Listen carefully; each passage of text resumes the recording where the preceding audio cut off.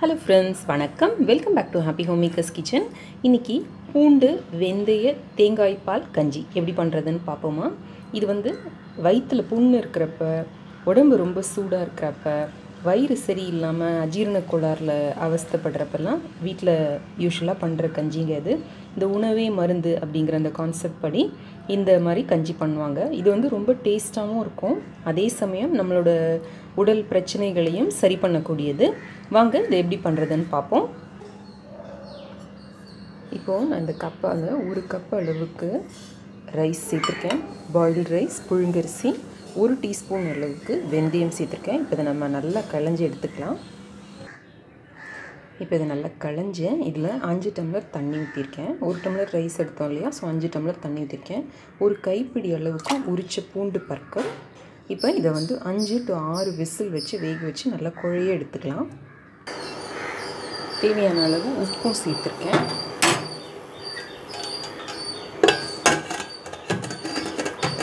அஞ்சுலேருந்து ஆறு விசில் வச்சு எடுத்துடலாம்.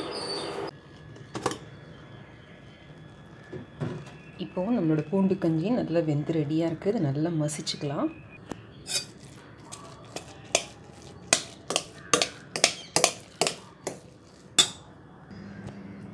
இப்போ நமக்கு தேவையான அளவு கஞ்சி எடுத்துக்கிட்டு அதோட தேங்காய் பால் ஆட் பண்ணிக்கலாம்.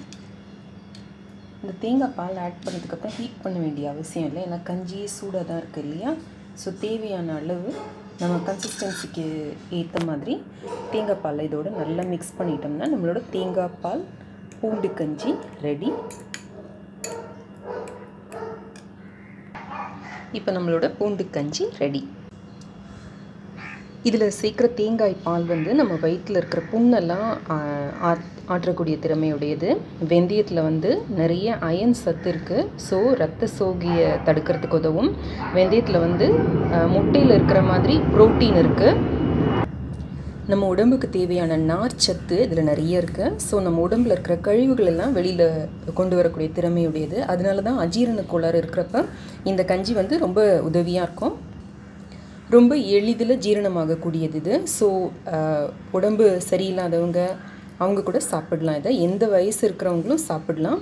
உங்களுக்கு தேங்காய் பால் ஒத்துக்காது அப்படின்னா நீங்கள் பால் சேர்த்து கூட காய்ச்சின பால் கொஞ்சம் ஆற வச்சு அதை கூட இதில் சேர்த்து சாப்பிடலாம்.